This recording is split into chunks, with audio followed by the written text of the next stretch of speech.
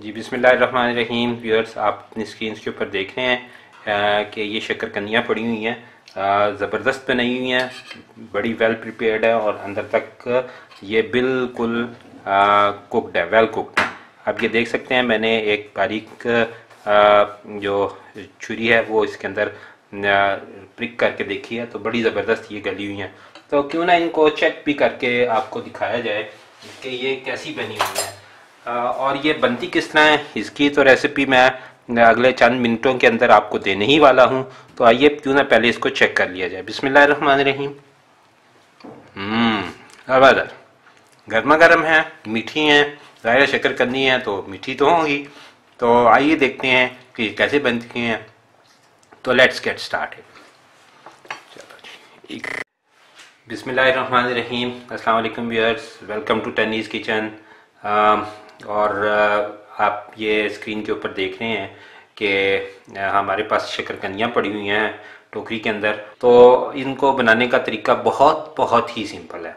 सबसे पहले तो आप इनको, चूँकि ये मिट्टी में बनने वाली चीज़ है तो इसको आप अच्छी तरह से धो लें। जैसे कि मैंने धो लिया हुआ और इसको स्टेन कर लिया और अगर तो ये बड़े साइज़ की हैं तो फिर तो आप इनको काट लें ताकि अच्छी तरह गलने में आसानी हो जाए और अगर ये इस साइज़ की हैं तो फिर आपको कोई ज़रूरत नहीं है इनको काटने की।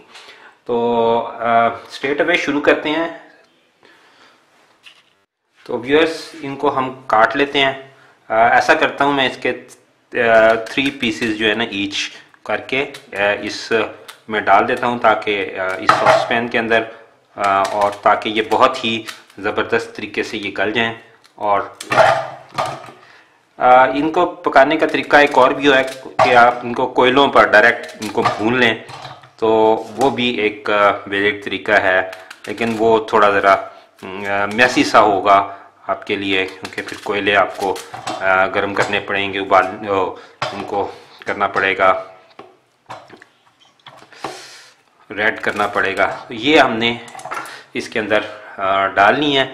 अब ये क्या करना है हमने कि इसमें थोड़ा सा गुड़ भी शामिल कर देना है।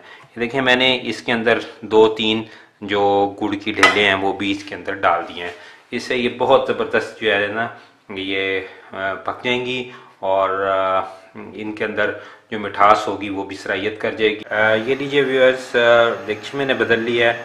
उसको मैंने पानी डाल दिया है और इतना पानी डालना है जिसमें ये डूब जाएँ शकरकंदियाँ और फिर आपने इनको उस वक्त तक पकाना है जब तक ये गल जाए। तो ये साथ साथ इसका जो गुड़ है, वो भी साथ ही मिक्स होता चला जाएगा और साथ साथ इसके अंदर वो सराहियत करता चला जाएगी मिठास उसकी। तो अगर आप महसूस करें कि गुड़ कम है तो आप बाद में भी गुड़ ऐड कर सकते हैं। यानी जब आप हाफ़ टन हो चुके हो तो इसको आप उस वक्त चेक कर लें ताकि अगर मीठा कम है तो मीठा आप और डाल लें। अदरवाइज़ और कोई प्रॉब्लम नहीं है। इतनी आसान और इतनी झटपट तरीका है ये बनाने का कि मैं आपको क्या बताऊँ। तो बस सिंपली इसको ये करना है और जब ये गल जाएँगी तो फिर आपने छिलका उतार के इसको चाय के साथ खाना है। गर्म गर्म खाएँ, बहुत मज़ा आएगा।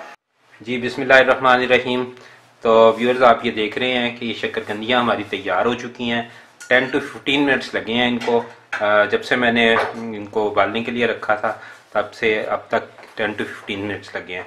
तो बहुत ज़बरदस्त होती हैं ये गर्मा गर्म आप चाय के साथ नोश फरमाएँ और मुझे याद करें और दुआओं में याद रखें और लाइक, सब्सक्राइब और शेयर ज़रूर किया करें फैमिली एंड फ्रेंड्स के साथ और खुद भी अच्छे अच्छे कमेंट्स दिया करें।